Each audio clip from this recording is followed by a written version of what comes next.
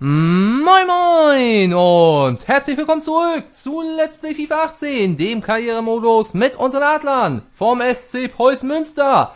Endspurt in der ersten Fußball-Bundesliga mit dem 31. Spieltag. Wir sind im letzten Spielmonat, dem Monat Mai 2020 angekommen und dort empfangen wir am 2. Mai den HSV, beziehungsweise wir sind zu Gast beim HSV im Hamburger Volksparkstadion. Und für den HSV gilt geht es für heute schon um alles, denn heute müssen sie schon gewinnen, denn ansonsten könnte möglicherweise, wenn sie heute nicht gewinnen und die Konkurrenz aus Stuttgart und Augsburg zeitgleich gewinnt, dann könnte heute schon der Hamburger Abstieg besiegelt werden. Beziehungsweise besiegelt werden. Und darüber dürfen wir uns, dürfen wir uns als Preußen Münster natürlich keine Gedanken machen, denn wir kämpfen ich kann es immer noch nicht so richtig fassen, aber vier Spieltage vor dem Ende stehen wir immer noch auf Platz 4 und kämpfen gegen den FC Schalke 04 eben genau um diesen Platz. Preußen Münster und Champions League, ich kann es mir immer noch nicht so richtig vorstellen, aber vielleicht wird das bald wirklich Realität. Allerdings, wenn man es ein bisschen ironisch betrachten möchte, kann man sagen, Preußen Münster steckt in einer kleinen Krise, denn sie sind seit zwei Spielen ohne Sieg. Die letzten beiden Partien endeten jeweils 1 zu 1 unentschieden. Am letzten Spieltag spielten wir in Mainz in der Kofas Arena 1 zu 1. Und ich denke, das war am Ende auch ein verdientes Remis.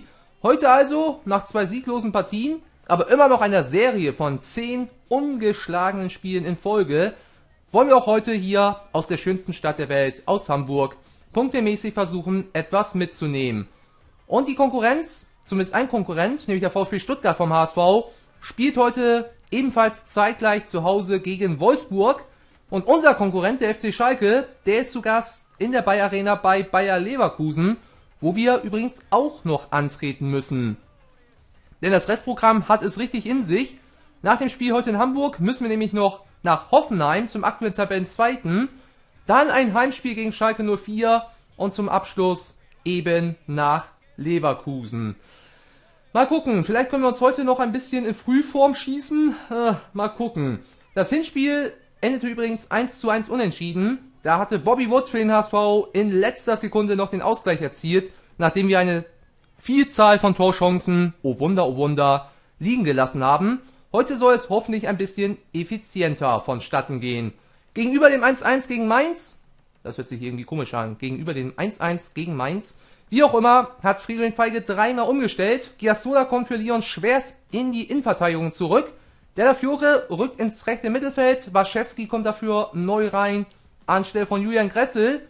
Und Nico Neidhardt ersetzt den verletzten José Matos, der sich im letzten Spiel gegen Mainz eine Knieverletzung zugezogen hat. Deswegen wahrscheinlich auch nächste Woche bei Hoffenheim nicht zur Verfügung stehen wird.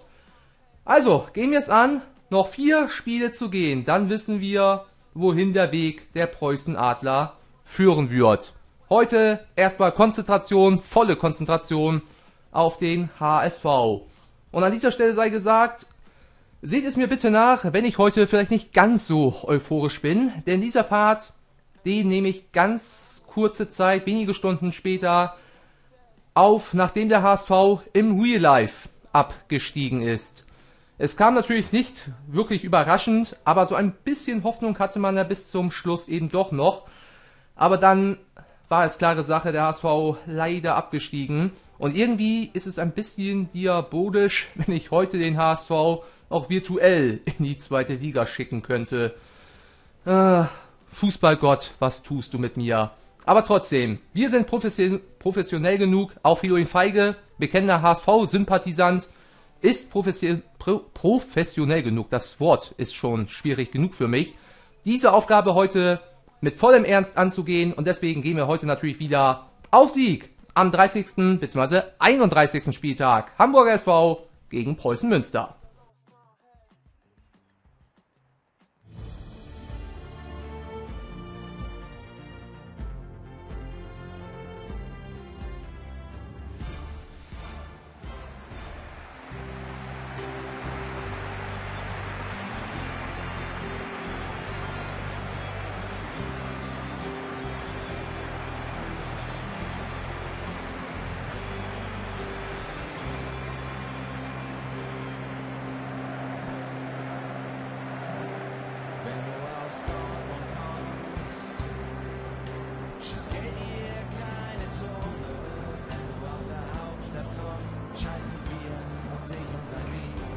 Der HSV, wir sehen es, hat die schlechteste Heimbilanz der Liga. Und ich muss, das tut mir leid, jetzt gleich mal eben unterbrechen. Ich lasse die Startausstellung noch eben durchlaufen und dann muss ich das Spiel ganz kurz pausieren.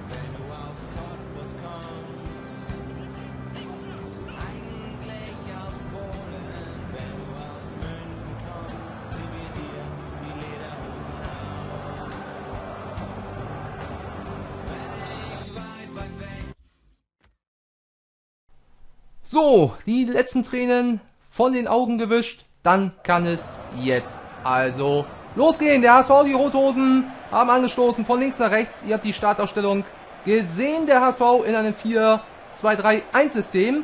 Und im Zentrum muss man sagen, gegenüber den letzten zwei, drei Jahren hat sich da nicht viel verändert. Nur die Außenposition, die Außenverteidiger, als auch die beiden Außenflügelspieler, die haben sie neu dazu gekauft. Also die Preußen Münsteraner im ersten, Durch, im ersten Durchgang von rechts nach links. Über die linke Seite mit Clint Lehmanns, Martin Kobilanski, Czoko und der verlagert das Spiel rechts raus auf Kammerbauer. Ins Zentrum gelegt, Lehmanns. Das befürchtete, gefürchtete Preußen Münster Kurzverspiel. Allerdings der letzte Pass kommt nicht bei Waschewski an. Der HSV versuchte spielerisch zu lösen. Dann doch der lange Ball von Martinia in die Füße von Tommy und der schickt Waschewski, der allerdings in Abseitsposition. Wir gucken mal drauf. Ja, er als auch Kobidanski deutlich hinter der Vierer Hamburger Viererkette mit Papadopoulos und Van Drongelen in der Innenverteidigung. Martinia hier immer noch die Nummer 1, bekommt den Vorzug vor Julian Pollersbeck. Auch der Abschlag landet direkt auf den Kopf eines Münsteraners. Tommy, Petric, Neidhardt. Gutes Zusammenspiel. Jung verschätzt sich da. Gegen Neidhardt. Klasse quergelegt. Und Waschewski hat die erste gute Möglichkeit. Testet Martinia den Ex-Darmstädter Torwart. Und er besteht seine erste Bewährungsprobe. Gut gespielt vom Preußen Münster. Die Gäste heute aufgrund der Tabellensituation klarer Favorit. Erste Ecke. Die langen Kerz, Petric, Giastola, sind mit nach vorne gekommen und sind in Erwartung von Erik Tommys Eckball. Und der kommt richtig gut. Petric kommt nicht ganz dran. Zweiter Versuch, Clint Lehmanns bleibt am Wallacey hängen. Giastola nicht im Abseits. Della Fiore und Waschewski ist da. Und mal wieder die frühe Führung für Preußen Münster. Zwölfte Minute. Da waren sie ja schon fast ein bisschen spät dran. Der HSV bekommt die Ecke nicht geklärt. Ich glaube, es war leicht abseits verdächtig bei diesem Flankenball von Giasola, der noch vorne geblieben war. Der findet den Kopf von Della Fiore. Der liegt mit dem Kopf quer. Und ich glaube, Waschewski trifft diesen Ball mit dem Schienbein. Aber auf jeden Fall optimal erwischt. Martini aus der Distanz. Nichts zu halten. Saisontor Nummer 6. Tobias Waschewski, der vor drei, vier Spieltagen beim Spiel gegen Hannover 96 seine Wiederauferstehung erlebt hat, ist auf einmal wieder voll im Soll. Minute 12, Preußen Münster führt in Hamburg 1 zu 0. Und das könnte tatsächlich den Abstieg für den HSV bedeuten. Im wahren Leben ist es ja zwei Jahre vorher passiert. Jetzt der Fehler da von Celoska. Nico Neidhardt dazwischen, aber Tommy kommt nicht vorbei am Kroaten Celuska, der gerade noch so das Bein dazwischen bekommt. Sonst wäre er auf und davon gewesen. Auf jeden Fall, jetzt mit etwas Verspätung scheint es den HSV auch hier, man kann sagen, endlich zu erwischen. Jahr für Jahr den Abstieg knapp entgangen, aber diesmal könnte es die Hanseaten tatsächlich auch hier erwischen. Lehmanns. Guter Ball für Waschewski. Der legt nochmal zurück zu Tommy. Der flankt mit dem rechten Fuß. Schlecht erneut die Kopfballabwehr des HSV. Tocco. Della Fiore. Mit dem Rücken zum Tor. Tocco. Waschewski. Traut sich nicht zu schießen. Scheluska. Kommt da nicht in den Zweikampf. Also Preußen Münster hier klar mit Oberwasser. Im Dauerregen. Typisches Hamburger Wetter hier. Kammerbauer. Will Della Fiore ins Rennen schicken. Geklärt von Kadar, den ungarischen Linksverteidiger. Sein Befreiungsschlag, den bekommt Bobby Wood sogar noch. Lautstarker Mittelstürmer Bobby Wood, der US-Amerikaner. Allerdings da mit dem schlechten Einwurf. Schenkt den Ball sofort wieder her. Giasola dazwischen. Lehmanns. Waschewski, Kobilanski gegen Van Drongelen. Kein Foulspiel. Hätte man durchaus auch pfeifen können. Aber Ballbesitz für die Hamburger. Aaron Hunt der Spielmacher auf der 10er Position. Auf Gökhan der Rückkehrer, der türkische Nationalspieler. V-Spieler, ah, Vorteil für den HSV, Gökhan. Topscorer seines Teams. Seine flache Hereingabe und Wellenreuter muss das erste Mal mit seiner Pranke dazwischen gehen. Jetzt Tommy, beziehungsweise Toko. Auf Kobilanski, der auf Tommy. Der zurück zu Toko. Oh, der Ball kommt nicht ganz durch. Papadopoulos der griechische Abwehrhühne steht da goldrichtig. Aaron Hunt. Gute Verlagerung. Aber dann der schlechte Pass von Kadar. Und schon wieder ist der Ball Besitz futsch. Also gefühlte 60 bis 70 Prozent Ballbesitz hier.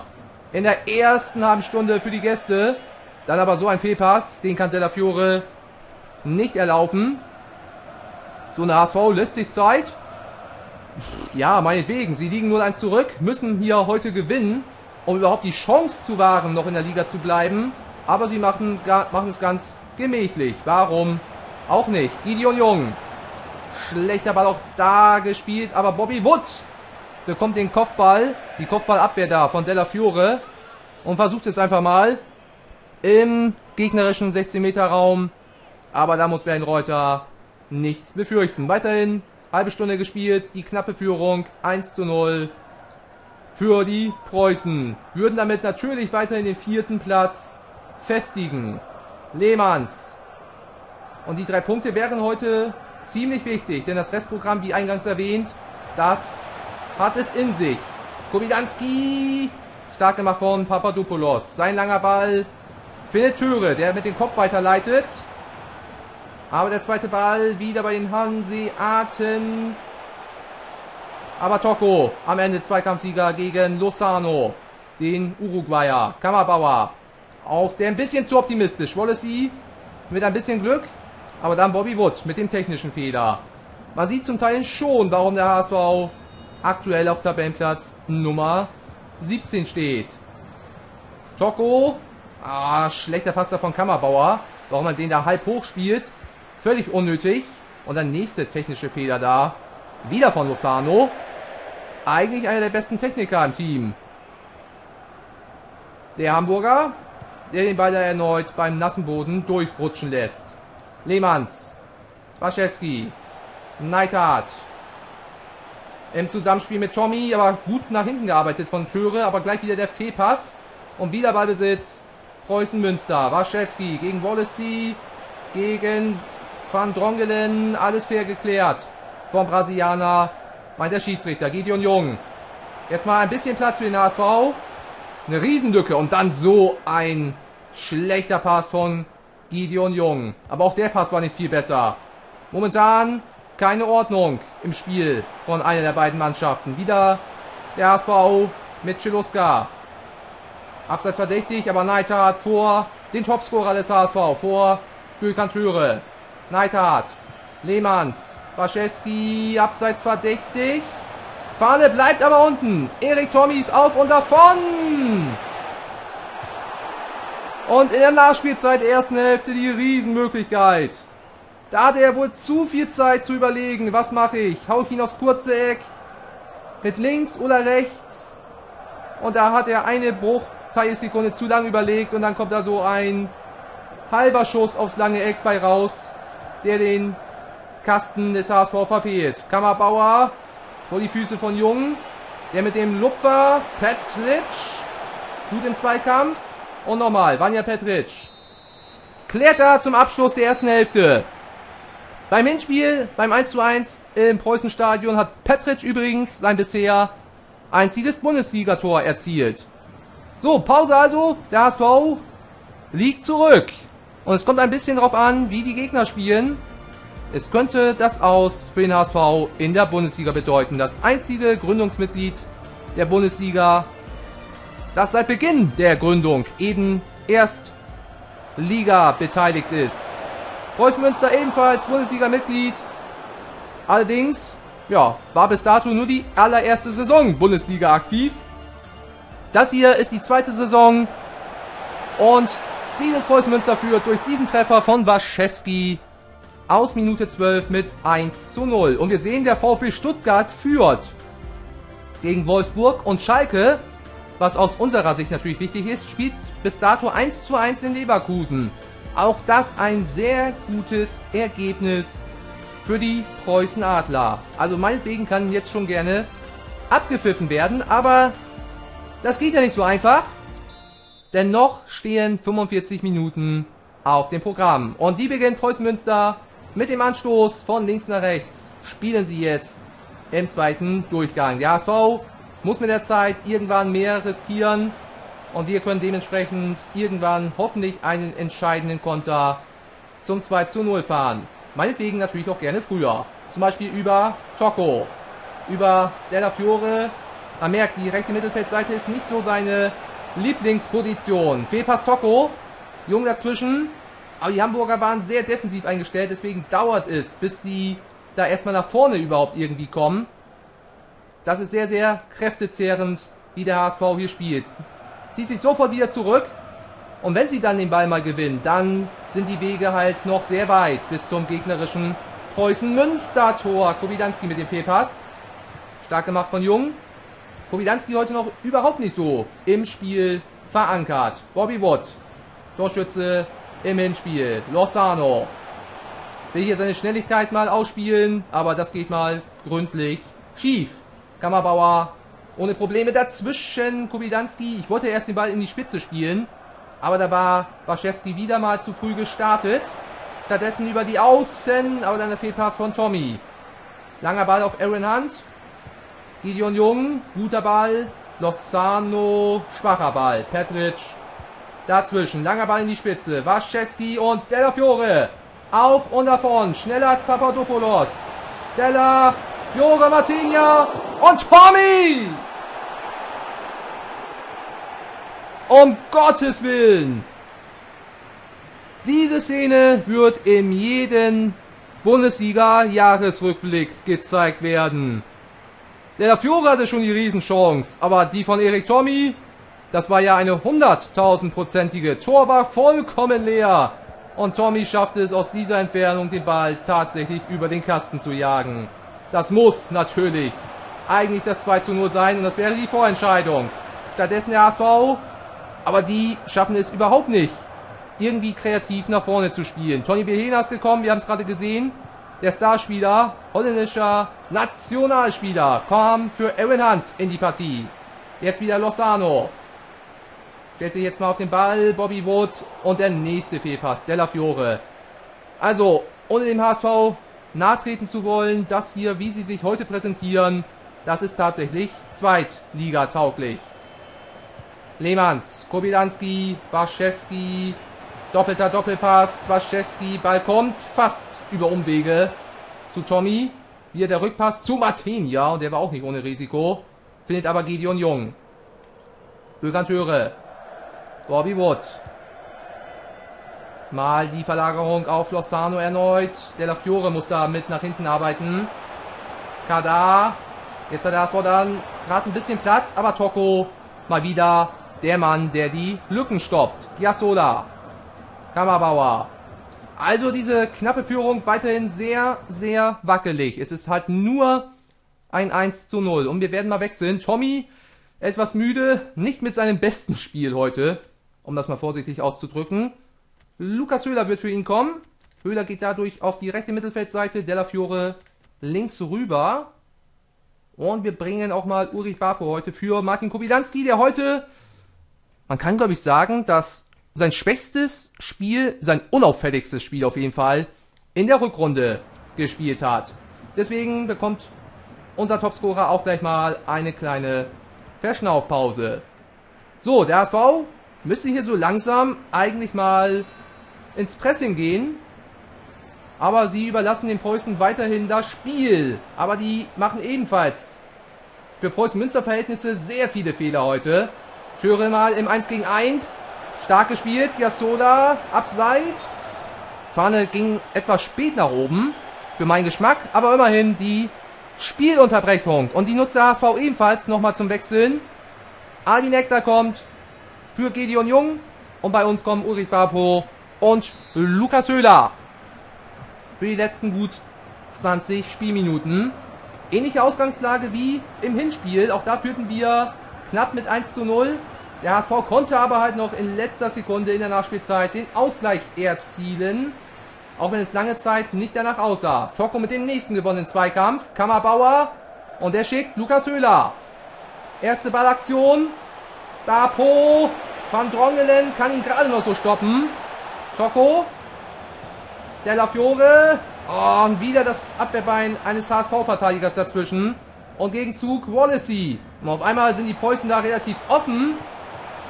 Toko, diesmal kommt er nicht in den Zweikampf gegen Eckdal. Bobby Wood. Und dann so ein uninspirierter Pass in die Spitze. Meine Herren, der HSV weiß nichts mit sich anzufangen. Der Fiore wurde da gehalten.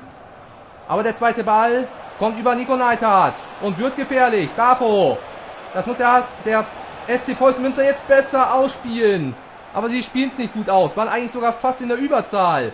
Bekommen jetzt aber nochmal die Möglichkeit. Über Höhler. Klasse Ball auf Della Fiore. Aber der kommt nicht zur Flanke gegen Celuska, der im zweiten Durchgang da gefestigter wird. Aber die Bälle, sie kommen einfach nicht bei uns in die Hälfte an. Neidhardt. Nächster Flankenversuch auf Lukas Höhler. Wo schießen die Preußen Adler denn die Bälle heute hin? 83. Minute, letzte Wechseloption beim HSV. André Hahn kommt für Bobby Wood, der sehr blass geblieben ist der US-Boy vorne im Sturmzentrum. Letzter Trumpf von Christian Tritz. Beziehungsweise Tietz natürlich, nicht Tritz. Tritz, wie ist ein ehemaliger Spieler von Preußen Münster, selbstverständlich. Und das war der erste gute, herausgespielte Angriff des HSV. Ja, Sola kommt nicht hinterher und dann Albin Ekdal. Da hat man gesehen, er ist von Haus aus ein eher defensiver zentraler Mittelfeldspieler. Meine Herren, aus dem Nichts die Riesenmöglichkeit auf einmal. Wir werden jetzt mal sehr defensiv hier in den letzten Minuten agieren.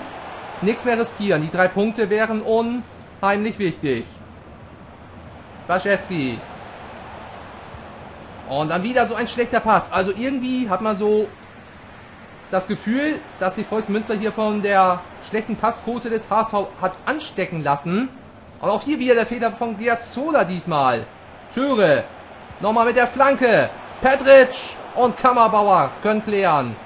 Und jetzt nochmal die Konterchance. Höhler. Aber auch das Anspiel schlecht. Genauso schlecht wie das Anspiel. Und Apo schaltet da gar nicht richtig. Oh. Das ist jetzt hier ein Bolz. Eine Bolzveranstaltung in den Schlussminuten. Zwei Minuten gibt es obendrauf. Es gibt nochmal Ecke für den HSV. Und Christian Martinier bekommt die Anweisung, geh mit nach vorne. Eigentlich muss der HSV hier schon gewinnen, um überhaupt noch die Chance zu bekommen. Lozano beim Eckstoß. Wir sind schon eine Minute drüber. Letzte Möglichkeit. Für die Rothosen. Lozano. Schwache Ecke. Höhler, was macht der denn? Also es ist sehr kurios, was hier im zweiten Durchgang für technische Fehler auf beiden Seiten passieren. Und es gibt nochmal die Ecke bei André Hahn im kurzen Eck an Wellenreuter scheitert. Wir sind schon, auch was die Nachspielzeit angeht, drüber. Letzte Möglichkeit jetzt aber. Lozano nochmal. Auch die Ecke nicht gut getreten, kommt aber durch zu Celuska. Kommt nochmal in eine Abschlusssituation. Nochmal der Kopfball. Und Wellenreuter hat ihn. Und dann sollte eigentlich Feierabend sein. Jawoll! Schluss in Hamburg. Die Hamburger Fans sind nicht, mal, nicht mehr mal in der Lage zu pfeifen. Das ist wohl einfach nur Enttäuschung pur. Denn sie wissen, der HSV ist wahrscheinlich schon sowieso vorher so gut wie abgestiegen. Und jetzt könnte es sogar tatsächlich zu 100% klar sein. Sollten Stuttgart und der FC Augsburg an diesem Spieltag gewinnen. Wir werden es gleich verfolgen. Auf jeden Fall, wir gewinnen. Und das ist das Wichtigste aus unserer Sicht. Mit 1 zu 0 in Hamburg. Siegtorschütze Tobias Waschewski durch mal wieder einen sehr frühen Treffer. Nico Neidhardt, Man of the Match. Mit einer 8,7. Torvorbereitung heute von Della Fiore per Kopf. Auf Tobias Waschewski zum 1-0. Endstand. Können wir so stehen lassen. War sicherlich nicht unser bestes Spiel, bei weitem nicht. Aber hey, wir haben gewonnen und die drei Punkte gehen nach Münster. Und was ebenfalls gut für uns ist, der FC Schalke spielt nur unentschieden 2 zu 2 bei Bayer Leverkusen. Dadurch haben wir jetzt drei Punkte Vorsprung, liebe Freunde, auf Platz Nummer 5.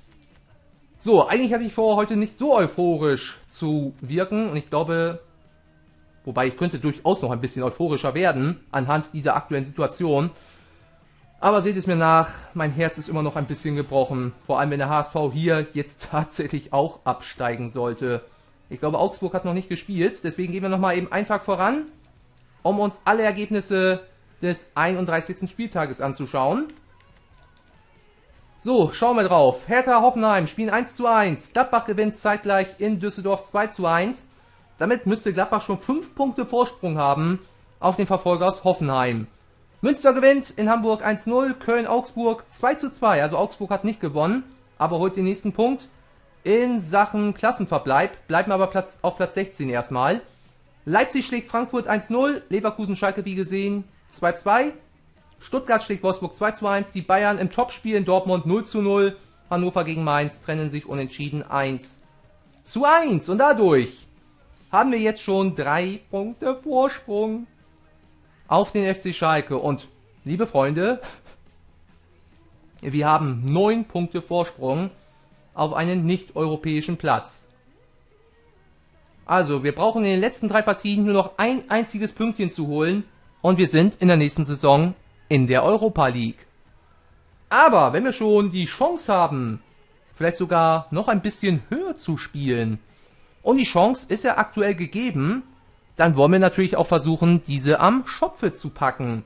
Drei Punkte Vorsprung vor Schalke. Und ich erinnere nochmal dran, das übernächste Spiel, unser letztes Heimspiel, ist gegen den FC Schalke. Allerdings haben wir jetzt ein schweres Auswärtsspiel als nächstes bei der TSG Hoffenheim, die 5 Punkte Abstand, Rückstand haben zu BMG, zu Borussia Mönchengladbach, die wiederum ihrerseits am nächsten Spieltag schon die deutsche Meisterschaft klar machen könnten wenn sie gewinnen und Hoffenheim gleichzeitig gegen uns nicht gewinnt. Auch da eine interessante Ausgangslage. So, und ganz unten, wir schauen mal drauf. Der HSV ist tatsächlich nur noch in der Theorie zu retten. Sie müssten alle drei Spiele noch gewinnen. Hätten zwar dann wahrscheinlich die bessere Tordifferenz, aber Augsburg müsste gleichzeitig auch die letzten drei Spiele alle verlieren. Düsseldorf ist seit diesem Spieltag auch rechnerisch abgestiegen. Augsburg Zwei Punkte hinter Stuttgart auf dem Relegationsplatz, aber auch Wolfsburg und Frankfurt könnten vielleicht noch, ja, da unten reinrutschen. Kommt ein bisschen drauf an, gegen wen die am letzten, beziehungsweise an den letzten drei Spieltagen noch so spielen werden. So, also Preußen Münster ist auf Kurs. Das kann man, glaube ich, nach diesem Spieltag auf jeden Fall festhalten. Vier Tabellenplatz 4, drei Punkte Vorsprung vor Schalke 04. Also ich kann es immer noch nicht so richtig fassen. Ach, Leute. Und jetzt kommt also ein echter Härtebrocken mit TSG 1899 Hoffenheim. José Mato sagt, ich bin einsatzbereit. Hat sich also relativ schnell von seiner Verletzung erholt. Gucken wir mal eben drauf. Spieler ist auskuriert. Nimmt also schon wieder Anfang der Woche am Mannschaftstraining teil. Ich bin einsatzbereit. Es ist Ihre Entscheidung, Trainer. Ich würde gerne spielen, das wissen Sie. Aber wenn sich die Verletzung verschlimmert, dann muss ich länger pausieren. Ich kann verstehen, wenn Sie kein Risiko eingehen wollen. Ja, normalerweise ist Fridolin Feige schon ein Mann, ein Mensch, der ins Risiko gehen würde. Aber ich glaube, so wichtig ist das jetzt nicht. José Matos, wobei, ich glaube zumindest auf der Bank würde auf jeden Fall Platz nehmen. Nico Neidhardt hat seinen Job am heutigen Spieltag in Hamburg eigentlich ganz ordentlich gemacht. Da sehe ich mich jetzt nicht unbedingt zwingend, gezw zwingend gezwungen, genau. Ich fühle mich nicht dazu gezwungen, ihn jetzt unbedingt auszutauschen. Aber das wird sich Fridolin Feige natürlich bis zum nächsten Spiel nochmal genauer überlegt haben. Wir sind übrigens am Sonntag am Einsatz und der FC Schalke, wir sehen es, hat nur unentschieden gespielt.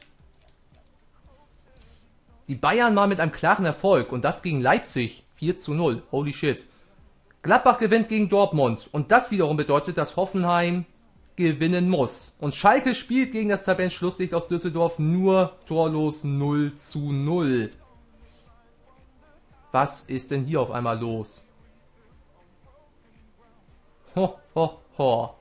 Also tatsächlich sollte Hoffenheim das Spiel gegen uns nicht gewinnen, ist Borussia München-Gladbach der neue deutsche Meister. Wir können also München-Gladbach vorzeitig zum deutschen Meister küren. Die Mannschaft von Preußen Münster. Und sollten wir das Spiel sogar gewinnen, dann haben wir es in den eigenen Händen. Ich meine, wir haben es sowieso in den eigenen Händen. Aber dann haben wir es erst recht in den eigenen Händen, Platz 4 zu festigen. Denn ich sage nochmal, am übernächsten Spieltag ist der FC Schalke bei uns zu Gast. Und da würde uns dann auf jeden Fall schon ein Unentschieden dann reichen. Aber gut, das ist zu viel Konjunktiv.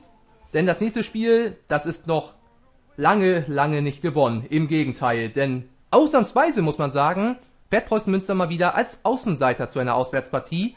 Und wie diese Partie ausgehen wird, das schauen wir dann uns gemeinsam beim nächsten Mal an. Wenn es erneut heißt, Let's Play FIFA 18, der Karrieremodus mit unseren Adlern vom SC Preußen Münster, dann zu Gast beim Tabellenzweiten der TSG Hoffenheim. Ich hoffe, ihr schaltet wieder ein. In dem Sinne, hoffentlich bis zum nächsten Mal. Ciao, ciao, sagt euer Killer.